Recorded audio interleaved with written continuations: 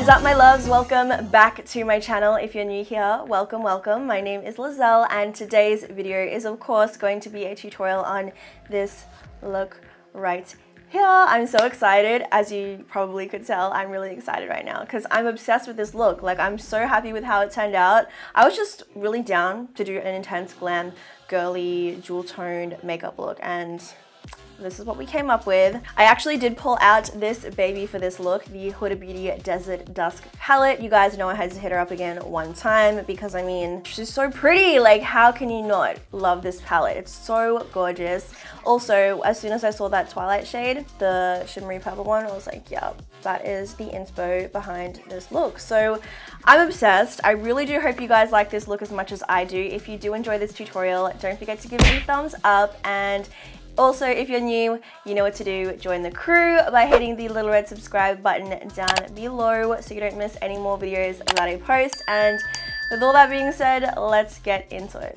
Oh my goodness, guys. If I look like I'm really flustered right now, I just had a sneezing fit. And when I start sneezing, I will continue to sneeze like 20 times in a row. It's insane. So that's why I feel like I'm congested. Like perfect timing. I'm about to start filming and your girl just had a sneezing fit. But we're to start things off with the face, of course. I'm to firstly prime using the Fenty Beauty Primer. This is their Soft Matte Pro Filt'r Instant Retouch Primer. So as you can see, I'm just blending that into the skin with the Real Technique stippling brush. Sometimes when I do apply primers, I prefer to use a brush. I feel like not only is it more sanitary, but it just helps with not making my face all red and irritated as it would if I were to use my hands. So that's why I'm using a brush. So since I use the Fenty Beauty Primer, I am of course gonna be using the foundation. Now this foundation, it's like a shade or two darker, but I really wanna use it and um, it's a really good foundation. If you haven't already seen my first impression on this baby right here,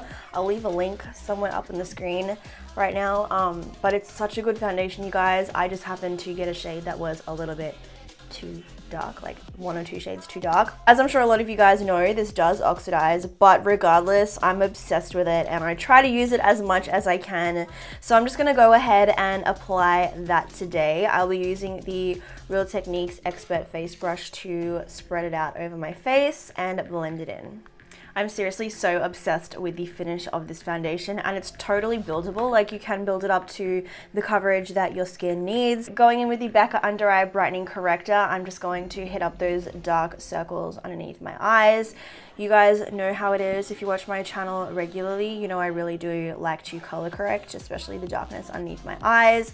I just feel like this extra step in my makeup application really does help to brighten up the face a little more. I just want to say if you guys can hear any birds in the background, I apologize. It's spring over here, the birds are out, the sun is shining, and there's birds all up in my yard just eating flowers. Um, I was watching them this morning and they're very loud. So if you can hear that, I apologize. But moving on to concealer now, I'm going in with this baby right here. Now, if you know me, you know this is like hands down, yeah, it's my all-time favorite concealer. This is the MAC Pro Longwear Concealer and the shade that I use is NC20 which is very light in comparison to my skin tone but it's light because I really do like the area underneath my eyes to be nice and bright. That's just how I am. So the way that I like to apply this is with my fingers. I just take it to both of my middle fingers and then pat it onto the areas that I want to both conceal and brighten and highlight. And then once it is applied, I go in with the Models Prefer Airbrush Concealer Brush to blend it into the skin. So I know this looks really crazy right now, but trust me, once I set it in place, it's gonna be good to go. So I'm gonna be taking the, as usual, you already know, the Australis Ready Set Go finishing powder in True Translucent Add my Sigma tapered highlighter brush and I'm pretty much just going to go ahead and set all that concealer in place. As you can see I'm just using gentle patting motions to set it in place. You definitely want to make sure that you aren't swiping away at all the concealer that you've just applied because you don't want anything to shift. So patting motions are the way to go. So for the rest of my face, I'm just gonna go in with the Benefit Hello Flawless Pressed Powder. This one is in the shade Petal. You guys know that this is my favorite pressed powder when it comes to setting foundation. So as you can see, I'm just patting that powder onto my face and I'm using the Sigma F30 large powder brush. As always, to start the eyes off, I'm going to prime the lids with the NYX eyeshadow base in Skin Tone. I'm just going ahead and blending that all over my lids right up to the brows using the Zoeva 142 Concealer Buffer Brush. And then I'm also going to go ahead and set it in place with some more translucent powder. So for this look today, I am of course going to be using the Huda Beauty Desert Dusk palette. Had to pull this one out again because I mean, every time I look at it, man, like it's just so pretty. So the first shade that I'm going to be taking is Amber. There she is. Yep. So I'm going to be taking Amber using the Zoeva 221 Luxe Soft Crease Brush. This shadow is going to act as my initial transition shade, just to have something between all the other shades that I will be applying over top. So as you guys can see, I'm just doing the usual, running it back and forth through my crease and blending it as I go. Alright, so next up, I'm going to be going in with the shade down the bottom here called Saffron. As you can see, it's really intense matte red shade. So I'm just using the Zoeva 228 Luxe Crease Brush and I'm going to go ahead and apply this all through my crease once again and also kind of drag it through the outer corner of my eye as well to start forming that tapered cat eye effect that I really like to do in pretty much all of my looks but I'm just going to continue to blend this shadow as I go along. It's really important that when you're working with such bright, intensely colored shadows, you don't want to go balls deep in it straight away. You kind of just want to work up to it. So that's exactly what I'm doing with this. I'm just slowly blending it, adding a little bit more color every single time I dip back in with my brush. And it makes it a lot easier to get a nice smooth blend with the shadow as well, as opposed to trying to blend away shadow when you've applied too much. Trust me, it ain't fun. So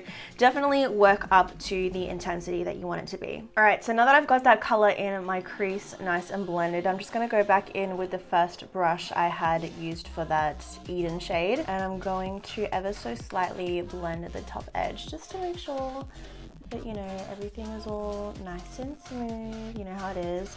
Um, but what I'm gonna do now is I'm actually gonna do a cut crease, like a semi-cut crease. So, so I'm gonna be taking my MAC Pro Longwear Concealer once again, and I'm using the Sigma F70 Concealer Brush. Now these two are very important when you want to create a crisp cut crease. So what I'm gonna do is take a little bit of that concealer and coat my brush in it. And then I'm essentially just going to go ahead and apply that to my lid and cut the crease. So I'm sure you guys have seen this technique for cutting the crease. Essentially what you wanna do is paint the concealer onto your lids in a roundabout manner where you think it would be and then look up and that will give you the exact like imprint of what you need to fill in. So pretty much just apply it, look up, and then fill in the gaps. It's as easy as that. So now that I've got the creases cut with that concealer, I am going to go into this beautiful shade right here. It's super shimmery. It's actually an eyeshadow topper, but I'm just gonna go ahead and set the concealer in place with this shadow right here.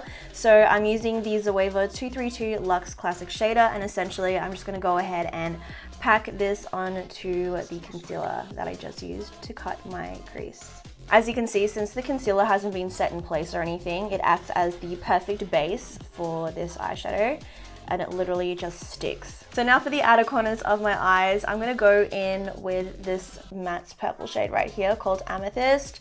I really need to blend out this edge right here, the edge of the concealer you guys see it. So I'm using the Zoeva 227 Luxe Soft Definer and I'm pretty much just going to go ahead and apply this to the outer corner of my eyes and blend it in towards that twilight shade just to kind of balance everything out and make sure that there is no harsh line from um, that concealer on the outer edge as you guys can see. So for my bottom lash line now, I'm firstly going to go back into that Eden shade and smoke this out along there. Usually I like to mimic what I've done in my crease on my bottom lash line. So that is why I'm firstly going to go into this shade. And since it's really light, I can smoke it out and it gives for a really nice transition. Then I'm just going to go back into the matte red shade Saffron and I'm also going to run that along my bottom lash line. But you guys know the drill. I'm keeping it much closer to the lashes to help define the eye a little more. So I'm using the Zoeva 230 Luxe pencil brush for this. I'm also gonna go ahead and give myself a wing today. So I'm using the NYX Matte Black Liquid Liner. I feel like I've been really into winged liner lately. Usually I don't bother to do it because I'm not very good at it, but I don't know, trying to get in that practice, you know?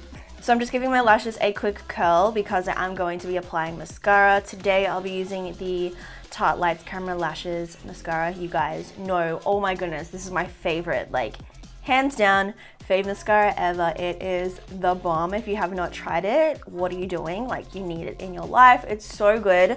So I'm just going to go ahead and give both my bottom and top lashes a coat of this. So for falsies today, I'm going to be going big, bold, and intense. I don't know why, but lately I've been really into intense, dramatic, fluffy lashes like more intense than usual. So I'm going to be using these ones from Dodo Lashes today. These are in the style D309 and as you can see like they are popping like they're intense. They don't look too crazy in the pan but when I put them on my eyes, best believe they're gonna look big. So I'm just gonna go ahead and apply those. I'm using the Revlon Lash Adhesive to attach those to my eyes and um, yeah, just you guys wait and see how big these look. So now that the eyes are done, I'm gonna go ahead and finish off the rest of my face. I'm gonna start off by contouring. So I'm going into the Kat Von D Shade and Light palette and I'm taking this shade here. I'm gonna go ahead and contour my face with that. So I'm just running that along my jawline and my cheekbones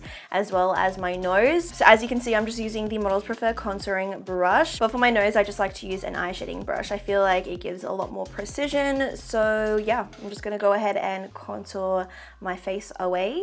Next up for bronzer, you guys, oh my goodness, I had to repurchase a MAC Mineralized Skin Finish and Give Me Sun because this is my favorite thing to use for bronzer. But yes, I'm using my love today to bronze my face up. And I'm using the Sigma F40 Large Angled Contour Brush. I just like to run this over my cheeks and around the perimeters of my face, particularly around my hairline, just to give me, you know, a little bit of bronze, a little bit of warmth, and it just balances out the face really nicely. Now for blush, I'm just to be going into the It's Hot Amazonian Clay Blush in Exposed. This is like a staple, I feel. It's such a neutral toned blush. I feel like it goes with so many looks.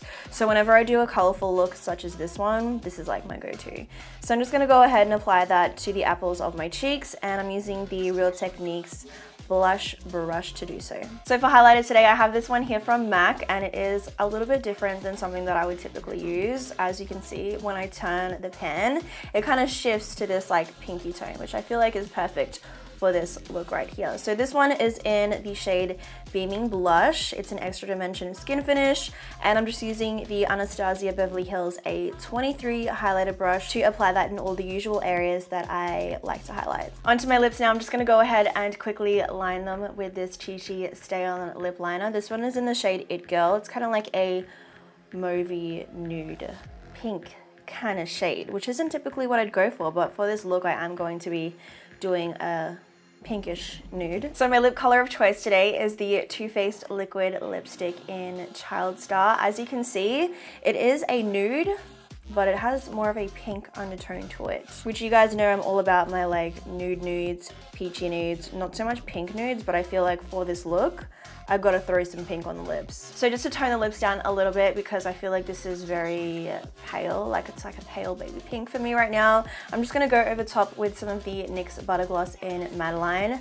As you can see, it's like a nude color. This is like my everyday lip gloss pretty much, but I do like to use it whenever I want to tone something down on the lips. Alrighty guys, this is the final look. I hope you all enjoyed this video. I'm honestly obsessed with this look right now. I really do hope you guys like it as well. Let me know what you think of it in the comments down below. As always, I will list everything that I used throughout the video down in the description box where you can also find all of the links to my social media accounts. So if you guys want to keep up with me on Twitter, Instagram, Facebook, or Snapchat, all that good stuff is down below. Don't forget to give this video a thumbs up if you did enjoy it. And also if you're still here at the end watching and you are not yet subscribed to my channel, I'm just gonna, I'll give you a second, you know, scroll down below, hit the little red button so you don't miss any more videos that I post. Anyways, with all that being said, I hope you guys are having a fabulous week. I will talk to you all in the comments. I love you and I'll catch you all in my next video. Stay glowy.